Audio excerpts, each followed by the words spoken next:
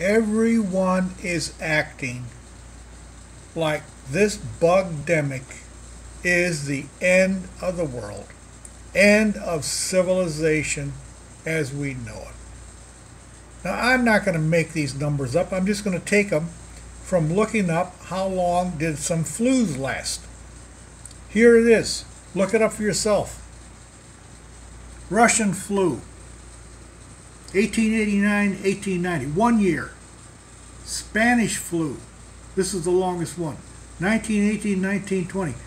Asian flu, 1957 to 1958, that's one year.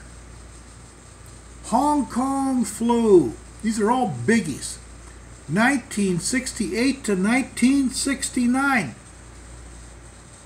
Yet everybody on YouTube is talking about we got to live the new lo- new normal life indefinitely.